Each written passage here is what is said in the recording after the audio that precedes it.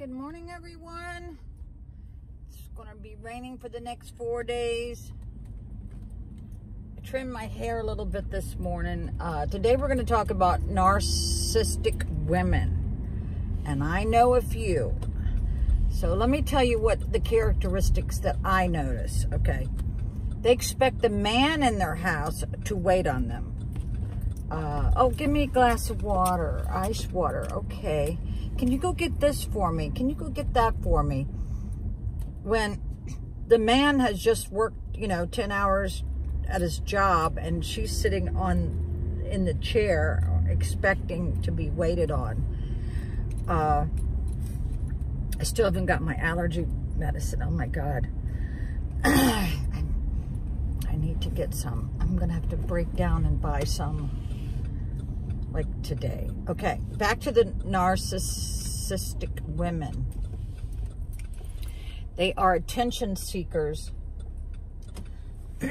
they are always looking for ways to get attention from everybody in the room. They are chronic interrupters. Now, I interrupt people too, but it's because I think I have ADD, ADHD. I'm, I'm almost positive I do. But these are constant interrupters in a conversation. They feel like what you have to say is not important and they are always interrupting so that they get the limelight. Another thing I've noticed with these women is whenever you're on the phone with them, they're in the background putting their two cents in where they're not even part of the conversation and they usually get it wrong about what the subject matter is these women need to shut up uh, and and just stop. Uh,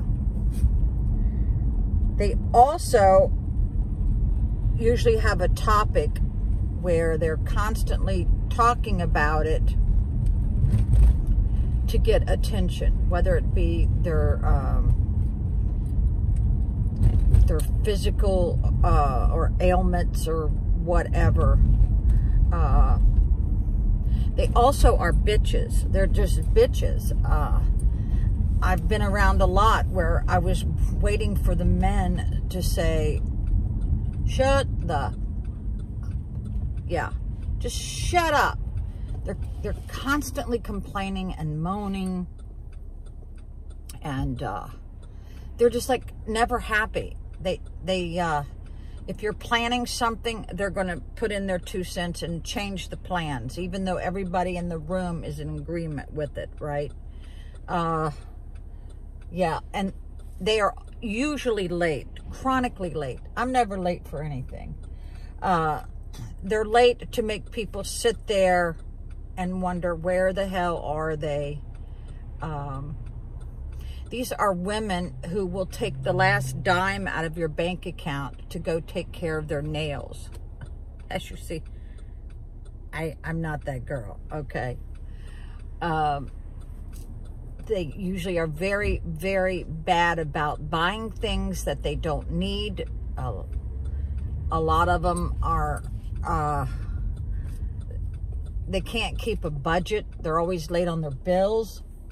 I haven't been late on any of my bills, I think, in 14 years. Um, they don't know what a budget is. And even though if they have money in the bank, they expect you to spend yours, okay? Uh, and if you are giving someone else in the room attention, they'll go out and start pouting. I've seen this many times. They're pouting because you're not giving them that attention and uh, they're the type that when you like when you go on vacation or something you you got to stop at Walmart and get everything that they forgot right? Because they they're just never organized. These are the ones that will forget very valuable documents that they need and then they cause a ruckus when they don't have them. Um, like when you're um, I don't know what's in the road. I thought it was a dead animal. Okay. They uh, also put other people first in their lives instead of the one that loves them. Uh, they'll put they'll put other people who are really insignificant to them. They'll make them uh, the priority and not you. Uh, they expect you. They expect you to drop everything in your life to help them with some project that really is most of the time stupid as hell. Um, all right, what else can I say about them? Um, they are mean. They will run off at the mouth. They have this like polluted mouth. Um, and uh, I think that's enough on this subject today. Narcissistic women. Uh, they are, uh, they don't, they don't see the consequences of their actions. And uh, they're always disruptive. No matter what the family's doing, they got to disrupt it. Uh, you know, everybody else in the family is like wearing Walmart tennis shoes. like there's nothing wrong with that. But they've got the latest and greatest, most expensive tennis shoes on. You know, this is what I'm talking about. They, like I said, they don't have any idea of what a budget is. You know, it's all about them. Uh, they're, they're, you're not, it's not easy to reason with them either. They don't want to hear any reasoning. um, they're very obsessed with everything in their life and nothing about yours. And they, they, they, uh, if you're in the middle of a conversation, they're not listening to you. They don't care. They do not care at all. So, uh, if you're with a woman like that, I feel sorry for you. Your life is going to be hell. Um, and it's not until you get away with that will you realize that your life is going to be a whole lot easier and better and you're going to be happier.